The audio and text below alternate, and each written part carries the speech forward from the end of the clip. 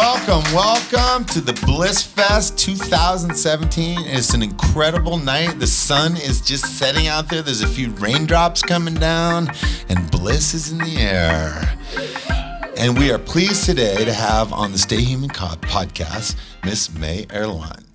And uh, we are super stoked to have you here because my favorite thing about going to a festival is I never check the list. I just walk around and I wander into tents and I find the most amazing artists. And today you were that person. Oh, thank you. So thank you for being here. My pleasure. Yeah. So, you know, I was just asking around before I, you know, because I got to check out the people who I get on this podcast. I don't want to bring in any objectionables. so I was asking around about you, and they said, you know, May is like queen of Northern Michigan music.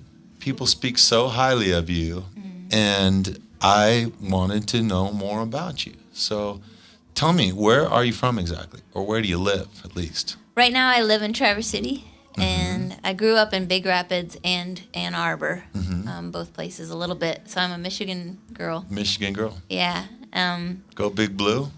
Yep. My Okay. my dad went to U of M, and so did my sisters. But My dad did too, by the way. Oh, really? Yeah, my father's from the Upper Peninsula of Michigan. Oh, where? He's from Ewen, a tiny town called Ewen, which is known for their 1932 World's Fair load of logs. They sent 50 logs from Ewen, Michigan, pulled by a mule train, and that's what they're known for. yeah, and my dad. nice. So, so you grew up around these parts, mm-hmm. and Yeah. so where you grew up exactly was it a small town, big town? I mean, Ann Arbor is a big town, but were you living in a small Big town? Rapids was a small town, small college That's town. why they name it Big Rapids, right? Well, it was a logging town. Okay. So the Big Rapids were a big deal. Yeah. And there's a big Muskegon ri- River runs through it. Uh huh. So that's where the Big Rapids came from, but it's not a big town. Yeah. Um, And when you were there growing up, what was it like at that time? It was smaller than it is now. It's it was kind of like a budding college Mm-hmm. town then, and it's a little bit bigger now. Um, but it's it's a pretty conservative small town, like a lot of like just sort of rural mentality. But How many people live there? I'm not even sure. Like, I'm not a numbers like hundreds person. or thousands or No, like thousands. Yeah, Thousands, Many so thousands. maybe, yeah, Yeah. 20,000, So not something like, like that. Yeah. Not like the UP. not like not like the UP, not not like Ewen and their load of logs. right. Yeah. So so you know bigger small town. But it feels like a small town, like you know a lot of the people that go to high school with you or something like that. yeah, absolutely, and like small, and, you know, very like, um, like small community. People Yeah. all know each other, and Yeah. yeah. so intimate in that way. Yeah, nice. And when you were growing up, what was your things that you were super into? What did you like to do? Or have you always been into music or? Pretty much. Um, I like. I grew up in a musical family. Mm-hmm. I was home educated for most of my school years, Wow. so my parents were super encouraging of Mm-hmm. the arts, and they were like kind of the oddballs in the neighborhood. They were like the vegetarian Buddhist, you know, family in Big Rapids, Michigan. Which you know, I you know, I still had a lot of families and friends that accepted us despite those things, but. But it was an interesting way town to grow up in, um, and so they were very encouraging of, of whatever creative thing I was into. And my my gr- grandma was an artist, Uh huh. visual artist, Wow. and so um, the arts were a big part of my family. Yeah. Yeah, So you're growing up and you're in this kind of conservative town, and in your household, it's like vegetarian, Buddhist, yoga, kombucha drinking, music playing, and and at what point did you decide like, "Ah, man, I'm gonna pick up that guitar in the corner? Or what was your first instrument? How did you how did you get into it? When when you became first conscious of it? I found it through voice 1st I've just sang from. Yeah. the moment I could talk. So Wow. that the vehicle is there. Yeah. and it still is the place where I feel like I can express the most. Mm-hmm. But I, I started playing piano early. Uh, How never old? like how early? probably like eight because there was just one in the house, you know. Yeah. And I took some lessons, never got like you know classically trained or anything. Yeah. Played a little violin, but at, at eleven I picked up the guitar and I wrote a song immediately. Was I that the first like- song you ever wrote? Well, yeah, one you know that I wrote down and Yeah. you know. Well, did you have one before that that you didn't write down? I had Like- a lot of little things I would make up, but Okay. I never took them very seriously. So like something what? about what was the what was one that you wrote before you could even rem- remember to write it down? I my first song that I remember writing when I was like probably like four Yeah. was it went uh Birdie can't fly, mama tell me why. Birdie can't fly, so mama tell me why. Wow. That's That's, it. beautiful. Wow. That's like an environmental anthem. You realize if you came out with that today, you'd inspire the whole movement? I mean, people would be shutting down pipelines, they would be breaking dams, and I mean, that's a beautiful song. Where did that come from? Did you have an experience where you saw a bird that couldn't fly? Or? My parents were part of wildlife rescue, where you take in animals and help, Mm-hmm. Yeah. you know, rehabilitate them and then release them. So Wow. we had that around my Wow. whole childhood. So, you- So, yeah, it was very so, so- literal. So you had It was literal. happening. the bird can't fly. What's going on? Yeah. Yeah. Because in my house, birdie can't fly meant my mom was serving fried chicken that night. Right, yeah. it was not the vegetarian, you know, No. Buddhist household that, Yeah. you know, I now am. Um, so then you, you're 11, you pick up guitar, and then how did that happen? What, what, what went on in your development musically? I just I think it's stories and the voice that really excite Mm-hmm. me. So it was a vehicle immediately to tell stories, and Yeah. there was a lot that I wanted to tell. So Mm-hmm. songs just I just felt really comfortable with the songwriting idea Yeah. in that sense, and so I realized like this is this is like clicks. Yeah. This feels like something. What were the stories that you were interested in telling at that time? Well, you know, I was like a young teenager, Mm-hmm. so at first a lot of them were just sort of like more, you know, you just sit down and play and Yeah, whatever comes whatever in, comes to you, right? yeah. And so they're a little more far out. Yeah. Actually, like what? Give us one. I don't remember them. no, They were really far out. you know, couldn't So repeat far out. I can't remember. Yeah, no, I haven't played them in forever. But Yeah. um, and then of course I went through like the teen angst, like Oh, heartbreak. yeah. Like I am the most important thing, and so is all of my pain. And you know, just Well, let's hear one of those. You have got to have one of I those. don't. I, I like one thing about me is I don't have a great memory, and the songs come in. Okay. There's like library shelf space, you know. Yeah. Somebody somebody has to go. your, your hard drive is. Uh, Yeah, over- they're they're overloaded. documented. I mean, I have Yeah, them, but I don't play them. Um, Yeah. And what I- were they about though? What were the types of things? just of like things? heartbreak, or Yeah. just longing, or Yeah. Mm-hmm. just being angry about whatever I thought was unfair. What were you angry about at that time? Probably just my parents not letting me do what I wanted, or just people treating me in a way that I. Let me just get a grip on this. Your parents were like the hippie, Buddhist, vegetarian, musical, pot smoking. You know, I'm I'm just conjecturing. But what in the hell could you have possibly wanted to do that they wouldn't let you do? Well, right. It's like I had everything I wanted, so I wanted the, the hell out of there as Okay. fast as possible, you know. And so yeah, it was. I was Yeah. totally gifted and privileged, Yeah. and had a great a support system. Yeah. But But you wanted to I find wanted to- something more. yeah, Okay. I wanted to feel what else was out there, Yeah. and it was pretty sheltered in that okay. way. Yeah. And my own identity, I didn't have a lot of room. A sort Mm-hmm. of middle child didn't have a lot of room to figure out what my identity was Right. As me. So I think everybody goes through a moment sure. where they really want that, Yeah. and so I think that was my rebellion. I hear you. Yeah. but it wasn't because I didn't have what I needed in Yeah. you know all of the basics. So what? At what point did you get to spread your wings in that way? Did you finish high school and then break out, or did you I did not run away from homeschool? I um I did go to school some of the time, but I um at 16 I negotiated to uh, go traveling across the country. wow. So I played music and traveled all over the country and hitchhiked and train hopped and went all Wow. over for for like three years. You train. Mm-hmm. What do you call it? Train. Train hopping. Train hop. Okay. Yeah. I think you said train app. Like there was a new app that you'd like Well, go that's- on that's say, oh, today." train's coming at six thirty. I'm going. Yeah. It actually would be so much easier, I'd imagine now, with Yeah. all the apps that you have. Yeah, it's like people are using like paper train guides that they rob from like the engineers, you Whoa. know. Like, was that you? Was that your gag to go and pickpocket the engineers? oh no, they Okay. they put them out. Like it was like an underground, like who's got the? Oh, I forget what they were called, but yeah, they're like a guide of like where you could go to hop on. So trains. tell me about that. What was the first time you hopped a train? I mean, this is like this is like what a real musician does. You know, like I was a train hopping. I went to San Antonio. You know, like this is like the stuff of musical lore. You know, like tell us about the first time you hopped a train. What was that like? The first time was actually just in Ann Arbor, Yeah. and I had a friend, and we were just up late hanging out. And he's like, "Oh, there's a train," and he had done it many times. He's Yeah. like, "Let's get on it." I was like, where does it go? He goes, doesn't go that far. Like, let's just get on it and get off. Like, and I was like, I've never done it. And he he just gave me some really quick basics. Yeah. And then what are the basics of train hum, just so that we can tell other 16 year olds out there?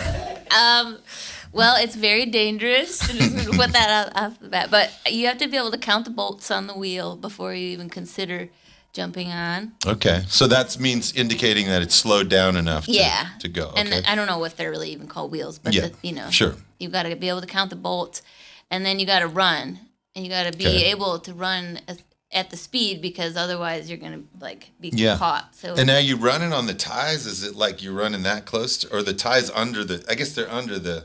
They're under the train, so you're running train. on Okay, gravel. You're running on gravel. Horrible and dangerous. Yeah, horrible and dangerous. And if you and if you fall, you're going to slide down like a ten foot ravine into, Right. into So a ideally, creek full you of want snakes, it to be right? really slow. Yeah. And for me, I, I would just like, can't we just wait till it stops? yeah. you're running, running, And- jump on, come on, jump on. And it's easier to do that. A lot of times you can wait till it stops and get on successfully, but getting off, you Yeah. often have to get off when it's going. Oh, wow. And so that you have to run in the air. Can you demonstrate that on a podcast? I mean, running in there. I'm 35 now. It's You, been I thought you were a folk years. singer. Turns out you're Superwoman. No, so any, yeah, I mean, I didn't. I trained hop for a little while, but because it was so hard and dangerous, I didn't. Yeah. You know, hitchhiking is way safer. Where did you go? easier. What's like? How far of journeys would you take? I hitchhiked or I train hopped. Mm-hmm. Um, let's see. I went across like from Chicago over. Chicago's a scary city to Yeah. hop out of. Oh, I bet. Yeah. Um, but I did. You get hit by an L train. Right. Yeah. And went over to like the northwest and Yeah. up and down the northwest is Wow. pretty much the only train. That must have been beautiful in, Oh in, my in gosh. the backcountry there. And You yeah. feel like you're like in on a big secret because Yeah. you see all this landscape. There, cars aren't allowed to go there. Yeah. People even don't go to a lot of the spaces. Wow. So you're just like kind of this little like magic. You're not supposed to be there, you know. natural Area 51. You know? right, right. And you know it's so totally like you can get caught and you have to kind of hide. So there's this Yeah. sneaky like ninja aspect about it that's pretty Wow. fun at a, as a teenager, you know. Yeah. like- but And so all this time, were you playing, writing? Did you have an instrument with you? Yeah, I always played, and that's how I made money on the road. I mm-hmm. busked, and. Yeah. it's still one of my favorite things to do. Yeah, I like it too. It's really beautiful Yeah, art. I feel like yeah, so. I played all the time yeah. on the road. And what kind of songs would you be writing? Um, I wrote about traveling. I played a lot of cover songs. I played a lot of country swing Mm-hmm. Yeah. songs. You know, Nice. I would see somebody and think, "Oh, what could I play that would like lift their spirit in this Mm. moment?" I've only got you know half a minute Yeah, of their time Yeah. or whatever. So to connect as you're busking, you know. Yeah. Okay. Um, and then I play some of my songs that were just sort of like heart opening, just Yeah. like, you know, my stuff that I felt like singing at the time. Wow. Wow. Um, what's your musical mission? Like, what's your purpose as a musician? Why do you do it? Um, it's it's probably changed over the years, but I think the main thing is to be useful. Mm-hmm. And I think where I'm most useful is often trying to encourage and help people be in a heart space Mm-hmm. instead of a head space. Yeah.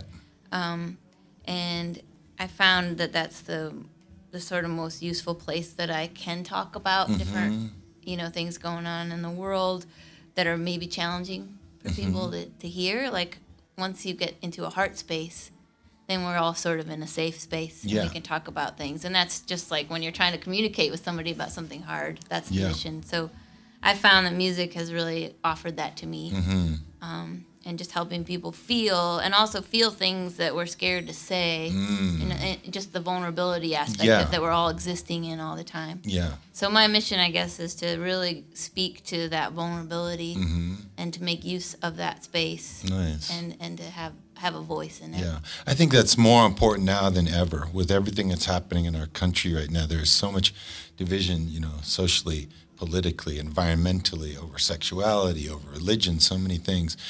And it's really important for all of us to speak our most passionately about our beliefs in the direction that we want to see the world going. But I think even more important than that right now is, is all of us having that ability to listen and to have an open mind and open heart to people who come from a different experience, a different walk of life.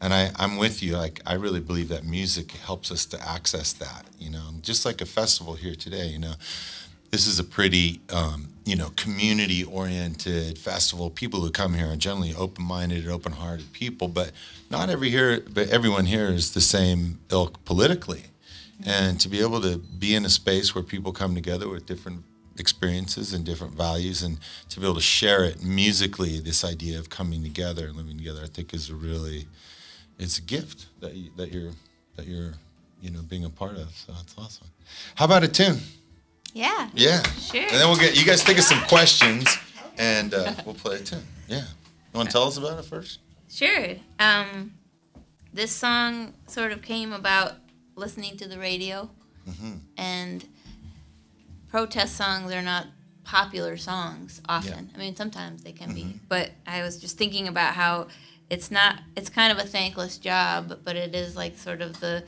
the legacy of a folk singer to write them Yeah. in whatever way we see fit, but you know, or whatever way we're called to. So this song was sort of a response to, to thinking about what would happen if we stopped writing them, Okay. just because they weren't necessarily always received by Yeah. everyone. Yeah. And as someone who loves everybody and wants to please them, Yeah. it's hard for me to like to displease somebody or make someone feel alienated because, Yeah. like you said, that's not really the mission either. Yeah.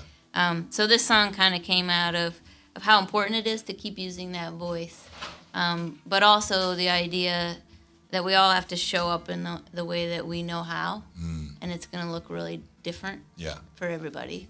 Right on. So it's called the People Song. Awesome.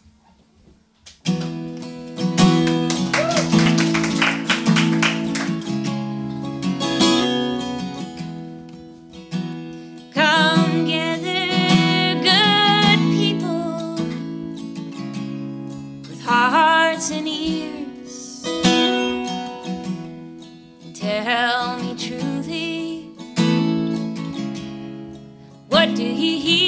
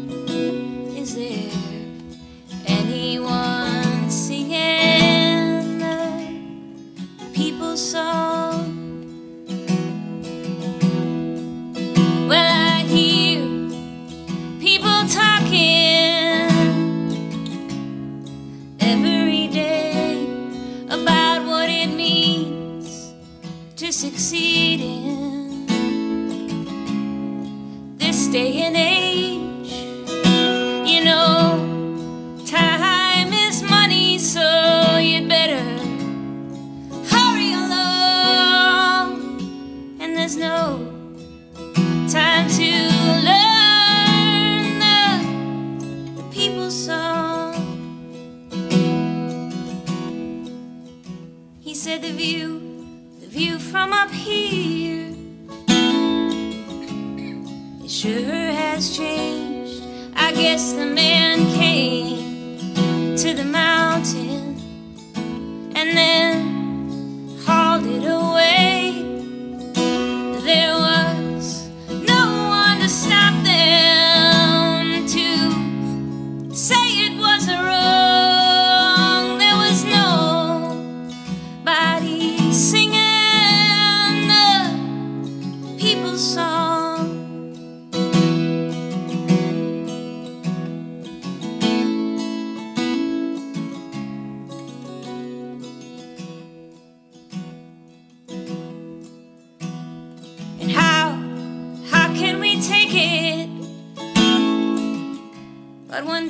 at a time, find the work in our future, not just steady decline, and use what's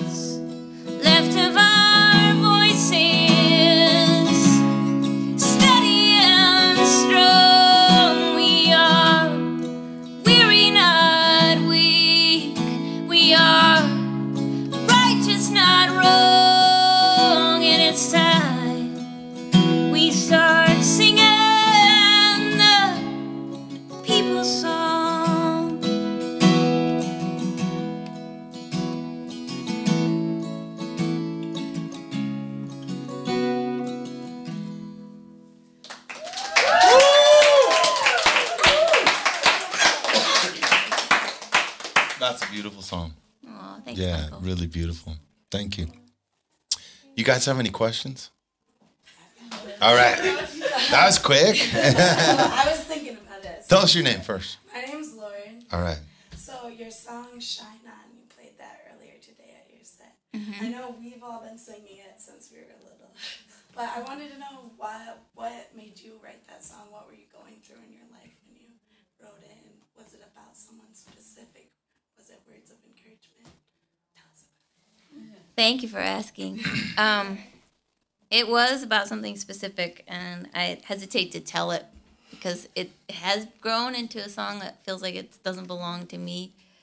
Never really did, but I it was inspired uh, by the election results of 2004, and I felt totally duped and discouraged, and I felt like we had been working and momentum was gaining, and um, the reelection of Bush Jr. was just really disheartening, um, which has actually brought more meaning in singing it again now. Um, so I was just devastated, and I just felt like, what what are we working for then? If this is the reality, and we all have moments I think like that when we work hard to on something we care about, and then we hit a wall, and it's like, should I even keep trying? And um, I went to a local um, pub that I'd never been to after playing that morning for this arts council of people who were celebrating the victory. So it was a really intense show and an intense day, and I was just totally bottom, rock bottom. Mm-hmm. And I talked to my friend who is this on like local community organizer, amazing genius, visionary guy who'd opened this pub, and it wasn't about he was making this great beer. And this is Joe Short that I'm talking about, but it wasn't about it wasn't about his, his beer. He was like, I just want a place for the community to come together and talk about ideas and make things happen starting here and it's going to grow. And he has grown that, but talking to him that day made me realize, okay, this dude's still excited. Like Yeah. and he's so excited He's still that in he the made game, me no he, matter what like, happened. You know, he put the inspiration in my heart that day and I went home that night and I was like, "All right, I got to just I got to keep going and I got to put something out there that's going to be useful to help others who might feel the same way, whether mm. it's about the election or whether it's about something else completely like unsurmountable seeming, you know? Yeah. So, Can you just sing this the chorus of that so people at home oh, sure. know what we're talking about? Yeah. Shine on, shine on. There'll be time enough for darkness when everything's gone. Shine on, shine on. There is work to be done in the dark before dawn. Beautiful. I heard you play that today, and that is a really, really beautiful song. And it's amazing how many people, you know, I was just out there and way in the back outside of the tent, and people had their arms around each other and were singing that song. And, and um, uh, I'm just wondering how, you know, you kind of described being here in this part of Michigan. How has that informed what you do, being a Michigan girl? Um, well, the the music community here is really rich, and there's a lot of elders who've been doing it for a long time. So the musical community, the folk music community, especially, um, definitely has helped me to find a place. Yeah. Um, and and also has taught people how to appreciate music, which has basically been my livelihood. You know that appreciation that people have worked really hard to create over the years, because Yeah. you do have to kind of teach people how to appreciate Yeah. music, you Yeah. know. Um, and so I feel really lucky uh, that I've kind of been brought up in that legacy of these folk festivals. So, um, and then the collaborations, I'm constantly inspired by my peers, and, Yeah. and we all support each other. It's not competitive; it's Yeah. collaborative. Yeah. So that's really, I feel really grateful for that. But also, there's a lot of like polarized views here. Mm-hmm. And even living in northern Michigan, going through this last election, I realized even more how polarized things were, more than I thought. And Mm-hmm. Yeah. and so I feel like there's a lot of work to do also, Mm-hmm. and that um, using music to bring people out together into a room, looking each other in the eye and Mm-hmm. and feeling each other, and then talking about some of these things feels really useful. So Mm-hmm. I think it feels like there's a lot of work and that it's effective work. um, to do. And so I think um, I don't know if that totally answers your question, but those are some things about being here that I feel like are are unique Yeah. or inspiring. Thank you. Uh, you got any other questions? Where, where, where can we more of your music? um, you can find more music of mine, but also of the collective that I'm part of, and it's called EarthworkMusic.com. And there's so many amazing songwriters and artists um, that are all under that umbrella, and we all focus our music um, de- definitely community oriented, but also environmental and social social justice, and and just really trying to use music as part of the community and as a voice. So it's kind of our mission Nice. together and we do a lot of work with kids and schools and and so um, yeah it's a great spot to find a lot of great music if you haven't heard, heard Awesome. Awesome. Well, our podcast is called the Stay Human Podcast. And so I'd like to ask you in this world that is so, you know, increasingly about, uh, you know, identifying people by a number or by a blue state or a red state or whatever, how do you hold on to just being human? What are the things that keep you in your humanity? Mm, wow. That's a beautiful question. I think um, the natural world hmm being out in nature and taking those moments and being in that relationship helps to realign me with my natural self hmm and kind of takes away some of the blankets of whatever judgments and ideas that we have Yeah. Um, so there's one thing, hmm um, but I think listening Mm. is a really big piece of, of how to get back to hmm to what's real, Yeah. and I, something I'm learning about. You know, Yeah. Awesome. Thank you. Well, thank you very, very much for being on the Stay Human podcast Thanks today. having It's me. really an honor to meet you and get to know about your weird family you grew up in. Yeah. My family was 10 times weirder, so there's, there's no shame in your game, believe me. And thank you, studio audience, for being here. And uh, people, are you on Instagram and Facebook and all that stuff? You Yep. do all that? Twitter and all that things? yeah, I'm not so great at Twitter, but I'm there. Okay. How- But yeah, May Erlewine, you can find you me. spell it for folks? Yeah, M A Y, and my last name is E R L E W I N E. Right on. Awesome. Well, thank you for being here today on the Stay Human having me. podcast from Bliss Fest 2017. We love y'all.